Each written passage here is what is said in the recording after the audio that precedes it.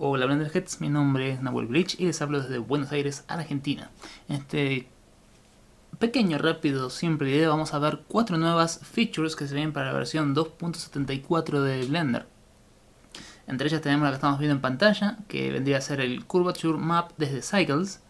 El Curvature Map nos daría la posibilidad de generar una especie de cavity o suciedad en los ángulos cerrados de las caras, pero muy parecido a lo que es el Dirt Vertex Map de, Dirt Vertex Color, sorry, eh, perdón, de el color de vértice, pero desde shader, lo cual calcula muchísimo más rápido. Tiene la limitación de los vértices, pero se calcula muchísimo más rápido y es mucho más dinámico, lo vamos a explicar ahora. También tenemos para pintar, Anthony, Anthony Reketakis nos agregó también la posibilidad de Cavity Mask, mismo sistema de Curvature Map para enmascarar donde donde queremos pintar, vamos a estar viendo en Viewport. Y tenemos dos features muy interesantes también que son Ambient Occlusion perdón, eh, Screen Space Ambient Occlusion para Viewport y Depth of Field para previsualización, previsualización en Viewport. Así que no quiero que este video llegue a los 20 minutos, vamos a empezar muy rápidamente. Lo que tenemos acá en Cycles es esta nueva opción dentro del nodo Geometry que es Pointiness. Pointiness, como les dije, nos da esa posibilidad de ensuciar nuestro modelo, como pueden ver ahí. Como pueden apreciar, mi modelo, si yo apago esto, está grisecito. Si yo lo prendo, se pone un poquito más manchado. Y si aprieto un poco estos controles de blanco y negro, esta rampa, eh, los bordes los bordes, digamos, los lugares donde hay ángulos se oscurecen más. ¿Cómo funciona esto? Bueno, este pointiness lo que nos devuelve es lo siguiente. Si nosotros tenemos... ¿Se ve? Sí, se ve. Tuca, tuc, tuc. Ahí está. Si nosotros tenemos ángulos eh, obtusos como este, abiertos, o sea, si nosotros tenemos este ángulo que viene así, ¿ok? Este ángulo pongámosle que será... No, mucho más, estoy dibujando cosas. Aquí, aquí. Entonces este ángulo vendría a ser una cosa así. ¿Sí? Vamos a el vértice de la salida. Todo eso es el ángulo. Si tenemos un ángulo, digamos, tan abierto como este, lo que va a tender a hacer es eh, darnos un número más cercano a 1 o un color blanco. ¿Sí? Si tenemos ángulos más cerrados, como este, que este debe tener 90 grados, un poquito menos de 90 grados, mucho menos que este, nos va a, dar números más cercanos al cero, ¿sí? Mientras más abierto el ángulo, más, más blanco, digamos, el color que se le asigna, mientras más cerrado el ángulo, más oscuro el color que se le asigna. Entonces, con esto, lo que hacemos es pasarlo por un color ramp. Entonces dijimos que los ángulos más cerrados son los más oscuros, o sea, los de este lado, y los ángulos más abiertos son los más claros, los de este otro lado. Entonces, si esto nos aparece así, nosotros lo que tenemos que hacer es llevar los colores más oscuros más para adentro, los blancos, los claros más para adentro, y en algún punto se van a empezar a juntar y van a empezar a generar contraste. Y así ensuciamos nuestro modelo. Como pueden ver, eh, la red de shaders es muy simple. Lo voy a hacer de cero para que vean cómo se hace. Vamos en Input. Vamos a Add. Input. Geometry. Nos genera este nodo de geometría que tiene este pointiness, que es lo nuevo que trae para generar, eh, que nos da esta información de color sobre los vértices en los ángulos. Es gris, obviamente. A ver, obviamente porque mi modelo no tiene ningún eh, borde recto, este modelo que dice no tiene nada em, perfectamente recto, perfectamente abierto, entonces es muy, muy sutil el efecto que tiene. Y como pueden ver, simplemente apretando un poquito, o un tanto, nuestro modelo resalta. Eh, como pueden ver, lo que nos devuelve es un factor de color, o inclusive, sí, de color, en este caso blanco y negro que sale a color, pero no, esto lo podemos usar para cualquier cosa, lo podríamos usar para un emit, inclusive un shader emit.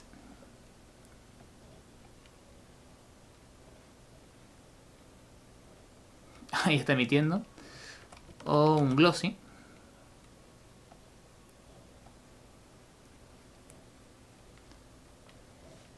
Y ahí está glosseando.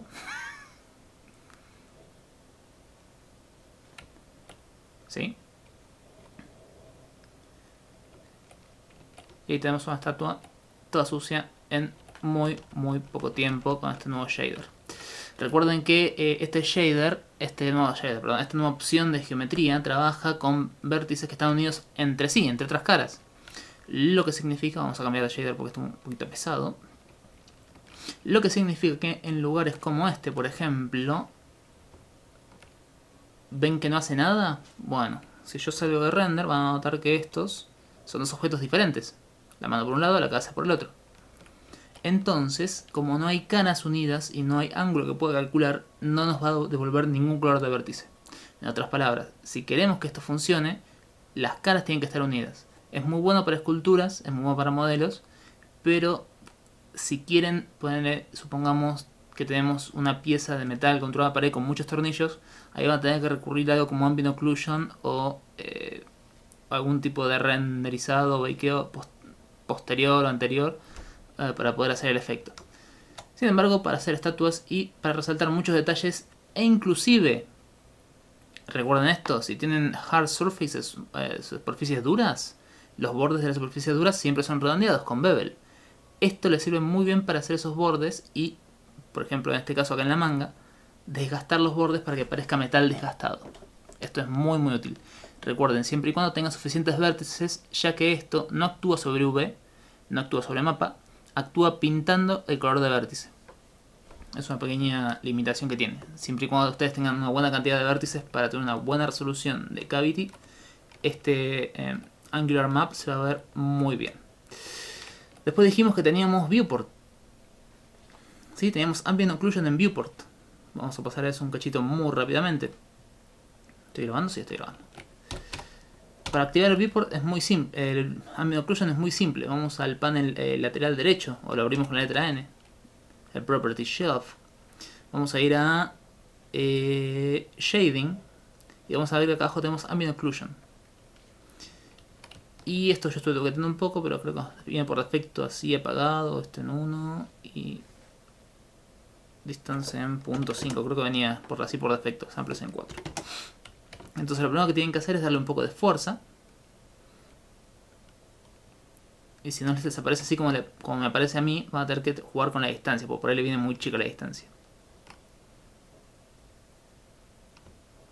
Y bueno, esto es ajustar a gusto. Como pueden ver actualmente la Occlusion trabaja básicamente sobre, sobre un layer de OpenGL superior a todo. Entonces cosas como por ejemplo eh, el empty también va a recibir Ambient Occlusion. Y ven que está, no sé si llega a ver en la grabación que está un poco granulado. Bueno, este, este parámetro samples nos da más calidad o menos calidad de ambient occlusion. Otra cosa que tenemos que recordar que este ambient occlusion es SS ambient occlusion, screen space ambient occlusion, lo que significa que no trabaja en base a la distancia entre las caras, eh, entre sí en el mundo 3D, sino en la proyección 2D. ¿Y a qué me refiero con eso? Me refiero que si se llega a ver... A ver si lo puedo ampliar un poco. Bueno, va a pasar cosas como por ejemplo que tengo acá en el borde de la pantalla. Que es que cuando la cabeza sale de la pantalla, genera oclusión sobre sí misma. Sobre las cosas, sobre estas eh, líneas de, de luces. Y si yo tuviera esto un poco más cerca, podemos ver también cómo se genera una línea de ambient occlusion a lo largo de la línea del cubo a medida que yo voy teniendo un ángulo con eh, el cubo con respecto al objeto que tiene atrás. Entonces eh, no es un eh, ambient occlusion como decía de proyección de raycasting, sino de proyección de cámara y de vista. Esto es una tecnología que se desarrolló para, juegos hace un tiempo. Hay un ambient occlusion más avanzado que inclusive sirve para calcular ángulos y, mejor detalle de profundidad. Creo que era D o X SAO, una cosa así. Pero es una tecnología un poco más avanzada. Pero la verdad que para esculpir con esto, en 6 subdivisiones y conseguir un poco de detalle, está más que bien a mí. La verdad que esto me viene muy, muy bien. Finalmente con el viewport y después pasamos a lo último que es el sistema de pintura, tenemos eh, Depth of Field. Como pueden ver acá está apagado. ¿Y por qué está apagado el Depth of Field? Porque el Depth of Field solamente trabaja desde la cámara.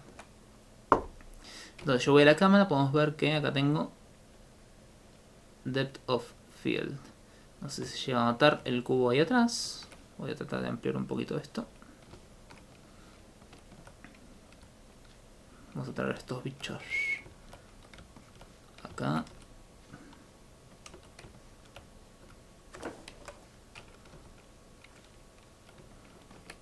Y por qué no un mono adelante. Porque siempre tiene que haber un mono adelante.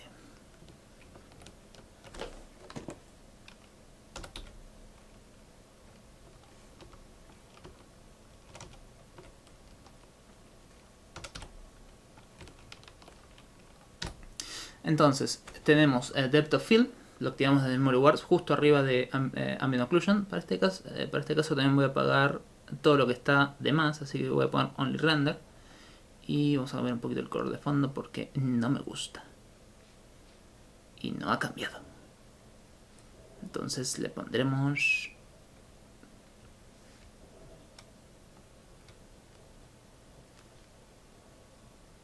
no le pondremos absolutamente nada porque no ha cambiado. Eh, acá debería haber una opción de Real Background. Acá está. El Real Work Background es una cosa muy interesante que de paso lo tenemos como bonus. Si nosotros tuviéramos un HDRI o una imagen de fondo, el Real el Work Background nos mostraría el HDRI en el viewport. Es muy muy útil. Pero en este caso lo vamos a dejar así. Como decía, las opciones de eh, Depth of Field están en la cámara. ¿Sí? De la derecha para allá están las opciones de Cycles. Del, lado izquierdo tenemos las opciones de eh, Viewport. A ver si puedo un poquito acá. Eh, noten que el punto focal lo comparten. Pero las propiedades de eh, f-stop, f-stop, que sería la apertura del diafragma, no son compartidas entre Cycles y eh, el viewport. Así que como ustedes lo ven acá, no es como lo van a ver en el render Cycles. Ahora, se los voy a mostrar. Esta herramienta está pensada por ahora, por ahí más adelante lo estaríamos que lo combinen para que sea función unificado, pero por ahora está pensado para eh, preview de viewport y que el director o el supervisor pueda tener una idea de cómo se va a ver con el entorno enfocado, que no es poca cosa, está muy muy bueno con la tecnología de OpenGL que tenemos ahora. Así que la cosa funciona así. Yo tengo un empty que está por acá, en algún lado de ese empty que veíamos al principio, y lo asigné como foco. Entonces, va a ser foco ahí. Yo también podría usar una distancia de foco que puedo picar. Si yo apunto sobre distance y toco la letra E, se me pone este gotero y yo con este goterito puedo picar la distancia focal que yo quiero. Esto está bueno para hacer eh, presentaciones de OpenGL y cosas así. Entonces, como pueden ver, yo puedo ir picando el lugar donde quiero hacer foco si no es que, si no, es que no tengo un eh, empty. Eh, no estoy seguro si se puede animar esto, en las primeras versiones eh, de desarrollo no se podía animar, por lo cual si quieren animar el, foco, les recomiendo que usen un objeto y lo animen en posición del mundo para poder animar el punto focal y tener como una especie de juego de donde quiero que esté el foco más adelante o más atrás, que es muy usual. El viewport f-stop eh, no me voy a poner a explicar un poco lo que es el stop porque es la división del número de la distancia focal entre el lugar donde recibe la película y la distancia donde el lente recibe la luz, etc. Lo que tienen que saber del f-stop es que maneja cuánto desenfocado está. ¿Sí? La distancia de desenfoque. Yo tengo el objeto eh, ahí en el pecho. Entonces, mientras más alto este número, más distancia entre ese punto y la cámara y el fondo va a estar en foco y mientras más bajo este número, como pueden ver ahí, es menos distancia entre este punto y lo que va a estar en foco. Eso es lo que determina el área focal. ¿Qué era lo que determinaba la cantidad de foco? En este momento no me lo acuerdo. Falta un valor acá, que no lo estoy encontrando, pero cuando lo encuentre, voy a poner una etiquetita acá en YouTube, así tú, con una fotito, y va a decir exactamente dónde está este valor que me está faltando, porque me está faltando valor de ajuste de de bokeh o, de foco, o sea, la, apertura de coso. Eh, ya lo voy a descubrir. Mientras tanto, estén atentos al, cartelito que voy a poner acá. Mientras tanto pasamos a la última cosa de este video que no sé cuánto tiempo lleva, pero ya se está haciendo largo, que es el Paint Mask, el Cavity para pintar eh, en Blender. Paint Mask, Cavity, eh, aunque son Angular Maps y tengo sueño, pero está buenísimo, así que no importa, lo vamos a hacer igual. En este caso preparé dos objetos que tienen un V ya hecho, un objeto muy denso, como pueden ver ahí. Y tenemos uno más simple para explicar cómo funciona. Voy a entrar a Texture Paint, voy a usar el modo Fill. El modo Fill, como lo dice, es un clic y Fill, igual que el tarrito de Photoshop o de GIMP o de Krita. Rellena todo. Hoy por hoy está en este lugar. Más adelante puede ser que cambie un poquito, no lo sé. Pero hoy por hoy y dentro de tres semanas vamos a tener una release, así que nos vamos a entrar. Hoy lo tenemos dentro de Options, estamos en Texture Paint. En Options vamos a encontrar la opción Cavity Mask dentro de Project Paint. Eh, eso está acá por un tema de lógica inicialmente, yo calculo, me imagino que es por eso, porque eh, es un tema de... El enmascarado este es un tema de proyección sobre la geometría y cómo se calcula, entonces calculo que imagino que por eso lo habrán puesto acá. Yo lo hubiera puesto con la máscara de textura. Pero bueno, por ahora está acá. En Options, Project Paint, Cavity Mask. Yo lo activo directamente, hago un clic y ya pueden ver que pinta raro. Como vieron, el color que yo estoy usando es el rojo. Y me pintó en todos lados menos en los ángulos cerrados. Esto funciona exactamente igual con, con el mismo principio de lo que les expliqué antes. De los que les expliqué antes. Mientras más cerrado el ángulo le asigna un color, mientras más abierto le asigna otro. Y ahí todo lo que está en el medio. Seguido de esto tenemos esta curva acá, que es muy interesante. El Y de esta curva, el vertical, nos va, nos va a tocar la opacidad. ¿La opacidad de qué? Esa es la otra cuestión. El X, este valor horizontal, nos va a dar justamente qué ángulo de esos que mencionaba antes, abierto o cerrado, va a tocar. Entonces yo tengo esto así. Lo que está pasando es lo siguiente. El lado izquierdo de la curva se encarga de los ángulos abiertos. El derecho de los cerrados. Y el vertical de la transparencia. Si yo tengo los dos abajo, mi alfa de pintura es 0. O sea, la máscara, digamos, está al 100%. Eh, esto es raro porque en la, página, cuando lo explican, lo explican como alfa y sería lo invertido a la máscara. Acá la máscara, digamos, estaría al 100%. Si yo voy de este lado, de la izquierda, y subo, voy a pintar dentro de lo que es em, los ángulos cerrados. Entonces, para más o menos recordarlo bien, del lado izquierdo controlan los ángulos cerrados, del lado derecho los abiertos. Si de un lado no les si de un lado lo tienen abajo y no les pinta, entonces súbanlo. Y les va a pintar. ¿Sí? Lo importante es eso, recuerden. De este lado, ángulos cerrados. De este lado, ángulos abiertos. Y después prueban para arriba y para abajo cuál es el que les funciona. ¿Qué podemos hacer con esto? Bueno, con esto podemos hacer cosas interesantes. Como por ejemplo, vamos a agarrar esto así. Y acá también interesante que podemos agarrar estos vértices y convertirlos en vectores. Esto es algo que mucha gente no sabe. Pero vamos a convertir los vectores de mm, los, vértices de la curva en vectores. Y generar distintos efectos al momento de pintar. Esto se pone más interesante porque una cosa es con el fill y otra cosa es tener control con un brush sobre cómo vamos a pintar en nuestra geometría. Lo ideal sería después poner un brush, ajustar unas cositas y con esto podríamos pintar tranquilamente lo que es suciedad y, desgaste en superficies, em, digamos superficies sólidas o pintar lo que sería, por ejemplo, en este caso acá, donde está la curva. Vamos a resetearla. lo que sería, por ejemplo, em, las arrugas, la parte de dentro de una arruga. Pero bueno, esto es la verdad una herramienta muy conveniente.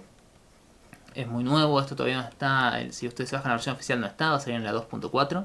Pueden descargar la versión de prueba de builder. Eh, builder.blender.org y esto deberían ya tener para jugarlo. Así que sí, muy interesante. Cavity, em, perdón, Angular em, Curvature Maps para Sequence, Curvature Maps para Paint, Ambient Occlusion y eh, Depth of Field para cámara, más unas cantidad de otras cosas que ahora ya no recuerdo, pero bueno, vamos a este video corto, vamos a terminarlo acá. Eh, espero que les haya gustado, espero que les haya servido, espero que me hayan podido seguir porque fui a las recontra chapas. Eso quiere decir en, en, Buenos Aires muy muy rápido. Y bueno, espero que nos veamos la próxima. Eh, adiós.